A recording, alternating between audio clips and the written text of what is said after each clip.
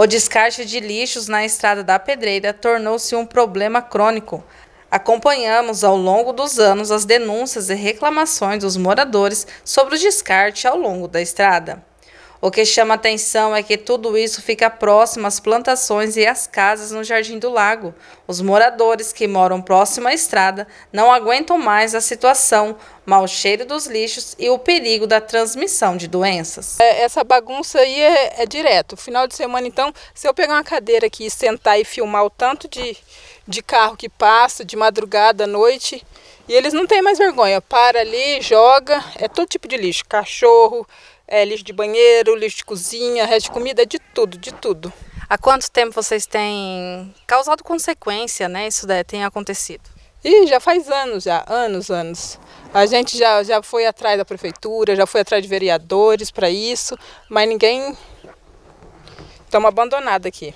Quais as consequências que está, está trazendo para a população aqui? Mosquito, é dengue, porque é pneu, é, é garrafa de água, mosquitaiada. É, aqui eu tenho criança pequena, eu tenho que ficar trancada aqui em casa, porque é, é mosca, pernilongo, de tudo. Como você disse, ali é todos os tipos de lixo, né? Aqui tem caminhão que recolhe tem, o lixo? Tem, mas parece que não tem. Passa a população mesmo que joga. A população mesmo. E, e, em relação ao mau cheiro? É insuportável, insuportável. Eu moro aqui faz 13 anos. Já falei para minha esposa, a vontade é de vender, porque desvaloriza.